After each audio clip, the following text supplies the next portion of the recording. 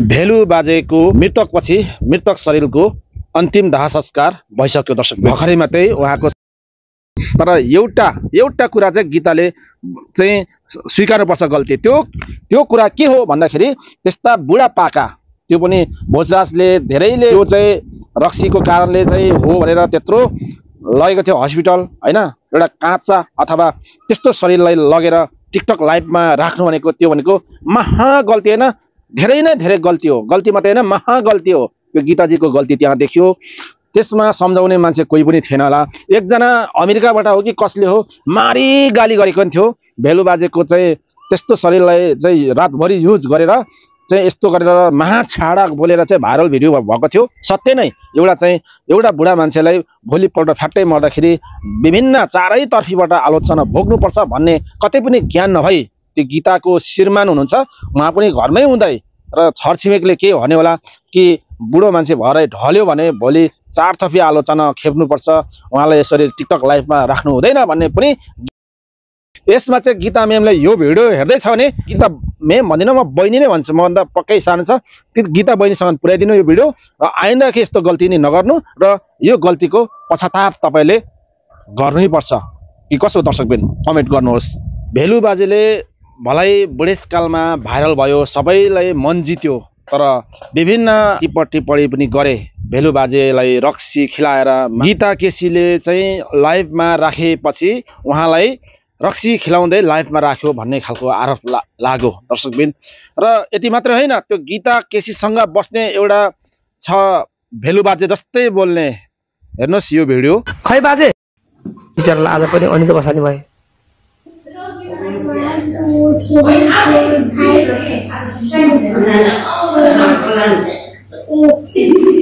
बिचरा सुतिरह नचलाउने के भनेर हानेर बाजेले यार।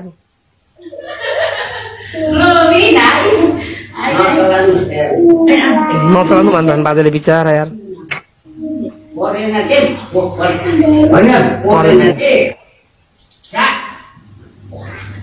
हग्न पनि दिँदैन क्या त्यो।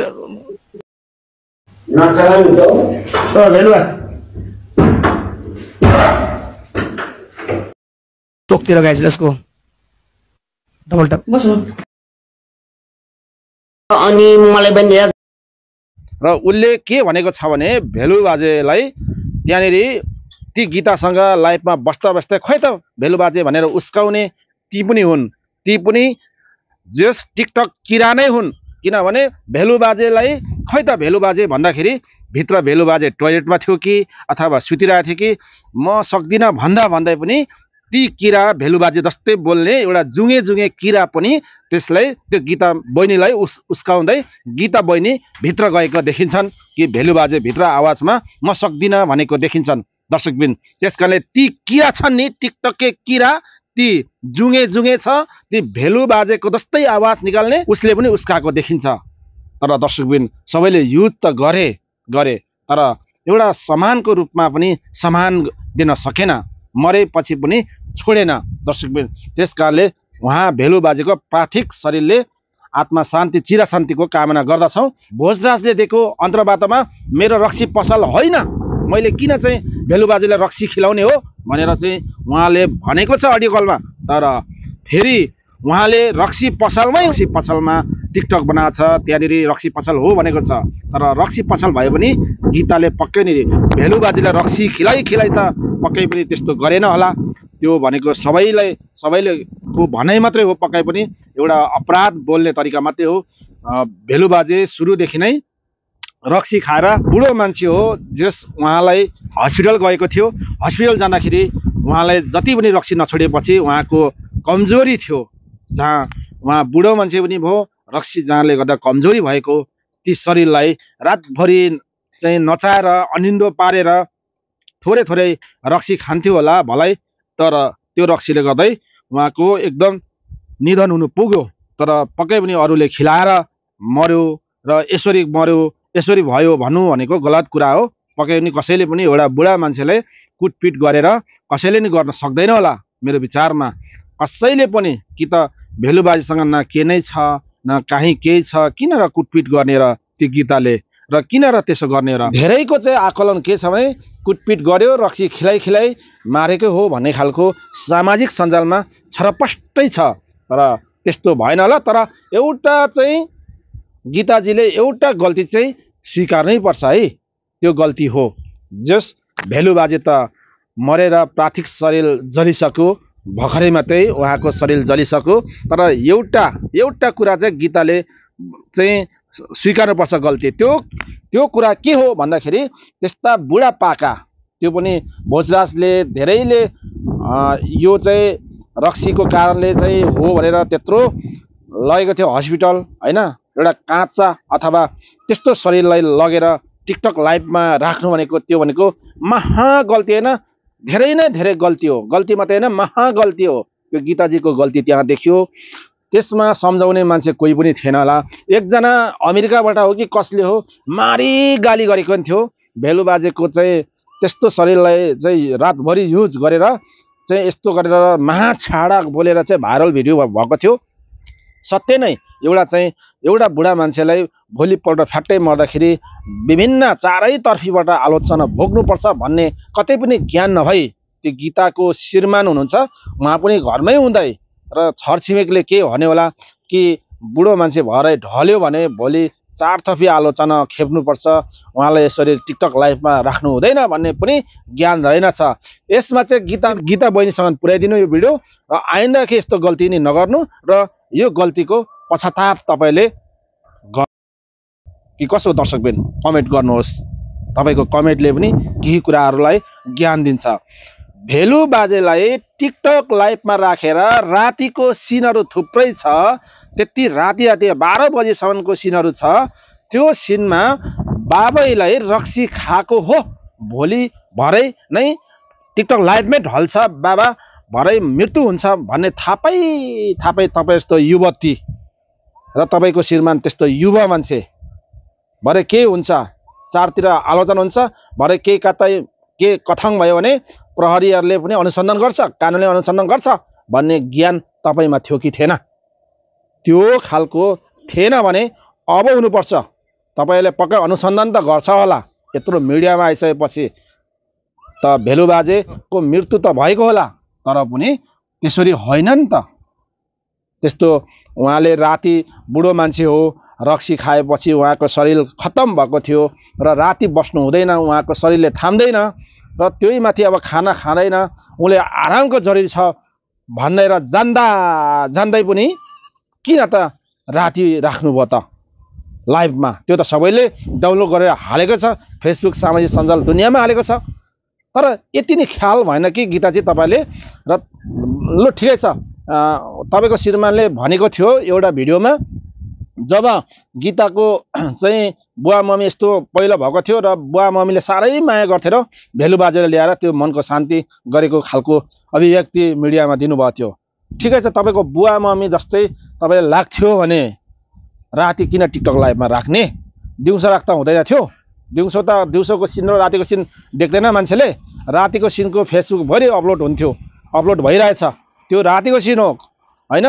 त्यो पनि तपाईँले ख्याल विचार गर्नु पर्थ्यो बुढाबुढी हो छदेखि सात बजे बेलुका नत्र ढिलो भने आठ बजे उनीहरू आराम गर्नुको जरुरी छ।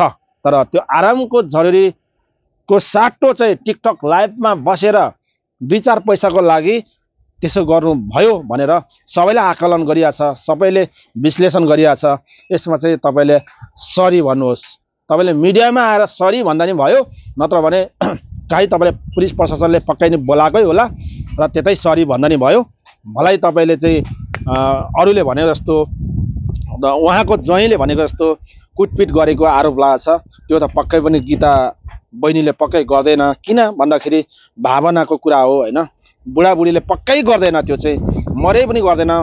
सबैले बुझ्दैन गर्दैन तर सबैको आक्रोशमा कमेन्ट गर्छ होला। सबैको आक्रोशमा चाहिँ भिडियो बनाएको छ होला। त्यो पक्कै त्यो चाहिँ म विश्वास मान्दिनँ।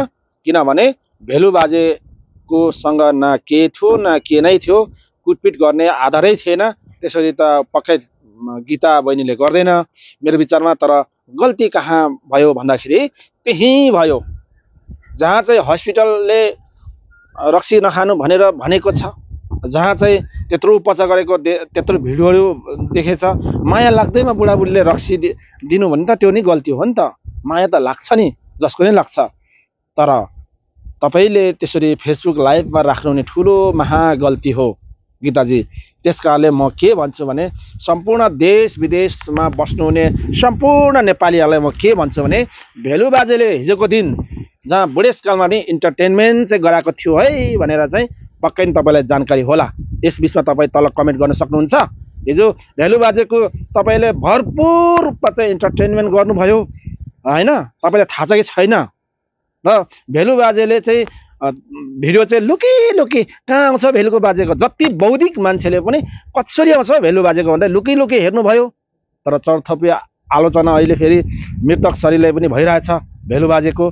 र कति धेरै ज्ञानी मान्छेले हेर्नुभयो भेलु बाजेको भिडियो। तर भेलु बाजेको भिडियो यसरी हेर्थे। म भनौँ दर्शकबिन त्यस कारणले एउटा भिडियो सेयर गर्नुहोस् र भेलु बाजेको भिडियो यसरी हेर्थे जहाँ बौद्धिक र सानसाना र ठुल्ठुला र बुढाबुढीले कसरी हेर्थे भिडियो भन्दाखेरि भेलु बाजेले देश विदेश अब हामी कमाउनु गएको स्वदेशबाट कमाउनु विदेशमा गएको हो भने कति पसिनाको थकाइ माथिको घाम र त्यहाँको कामको चर्को र त्यहाँका गाली र बल्ल बल्ल बल्ल बल्ल ड्युटी सकेर आफ्नो रुममा आएको बेला कस्तो रुममा आएकोलाई एकल स्वदेश नेपालमा श्रीमान श्रीमतीलाई श्रीमती भने श्रीमान श्रीमतीले जसले परिवारलाई फोन गर्दा पनि त्यहाँनिर गाली चारतर्फै गाली भएको टेन्सनको बेला चाहिँ भेलुबाजुको भिडियो हेरेपछि एकदम अनुहार हसिलो हुने मन शान्त हुने डिप्रेसनमा गइसकेको मान्छे पनि त्यो भिडियो हेरि भिडियो हेरिसकेपछि ऊ डिप्रेसनदेखि बच्ने यतिसम्म इन्टरटेनमेन्ट चाहिँ भेलुबाजेले गरेको हो कि होइन? भन्नुहोस् कमेन्ट गर्नुहोस् तपाईँले।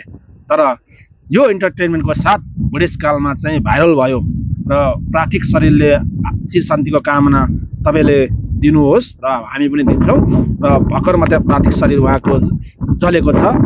र अर्को कुरा रह्यो भेलु बाजेको विषयमा हरेक कुरामा एकचोटि मात्रै भाइरल होइन। उहाँ जब एकचोटि भाइरल भयो र अहिले अन्त्य हुँदासम्म भाइरल भयो।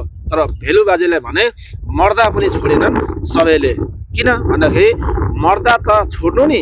मर्दा पनि सबैले यो आएको छ भनेर सामाजिक सञ्जालमा लेखिदिने फेसबुकमा नि त्यस्तै लेखिदिने जता हेऱ्यो त्यतै लेखिदिने मरेपछि त बिचरा भेलु बाजेलाई शान्ति त पाउनुपर्छ नि।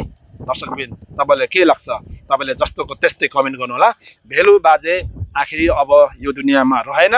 भेलु बाजेको अब स्वर सुन्नु भनेको भेलु बाजेसँग इन्टरटेनमेन्ट गर्ने एउटा भिडियो आउँछ कि भन्ने एउटा तपाईँले लिनुहुन्छ भने कि त्यो मान्छे फ्रड हुन्छ त्यसको आवाज मिलाएर एउटा एक्टिङ गर्न सकेको हुन्छ त्यो कहिले भेलु बाजे हुँदैन। भेलु बाजे भेलु बाजे हो तर त्यो एउटा जुङे छ नि जुङे त्यो टिकटकवाला। त्यसले भेलु बाजेको एक्टिङ गर्छ नि त्यो कहिले भेलु बाजे हुन सक्दैन। बास ऊ एक्टर मात्रै हो भेलु बाजे जस्तो असली र अर्घानी रूपमा उहाँले कहिले गर्न सक्दैन। किनभने उसले ती गीता मेमसँगको भिडियोहरू निकै छ। त्यो भिडियो हेर्दाखेरि निकै अचम्म पनि लागेको छ कि अरूलाई उस्काउनु ती बुढालाई नउठाउनु अथवा बुढो मान्छे आए पनि नल्याउनु न भन्ने साटोमा कहाँको बुढो मान्छे ल्याउनु नि खै त? भन्ने खालको उस्काएर चाहिँ गीता म्यामले ल्याएको भिडियो पनि हामीले हेरेको छौँ र मैले डाउनलोड गरेर पनि ल्याएको छु। र त्यस्तो तरिकाको उस्काउनु भनेको राम्रो होइन। केटाकेटी हो भर्खरको मदस्तो जवानी हो भने तपाईँहरूले रातभरि बस्नुहोस् या दिउँसरी बस्नुहोस् खाएको नि पच्छ बोलेको नि पच्छ बुढाबुढीले कहाँ पच्छ? तपाईँको आफ्नै बुवा मम्मीलाई त्यसरी राख्नु त रातभरि सक्नुहुन्छ? अनि त्यही के हुन्छ? तिन दिनमा चाहिँ बिमारी भएर अनि तिन दिनमा तपाईँले धेरै कमाउनुहुन्छ टिकटकमा त्यही तिन लाख कमाउनुहुन्छ होला होइन? तिन लाख कमाएको सट्टामा तिन दिनमा त्यसलाई एक करोडको खर्च आयो भने तपाईँले के गर्नुहुन्छ? त्यो विचार गरेर आफ्नो बाउ आमा सर विचार गरेर आइन्दादेखि भेलु बाजे जस्तो कुनै व्यक्ति निस्क्यो भने त्यसरी रातभरि युज नगर्नु होला भन्ने अनुरोधको साथ म अहिले भने बिदा हुन चाहन्छु। हस्त नमस्ते।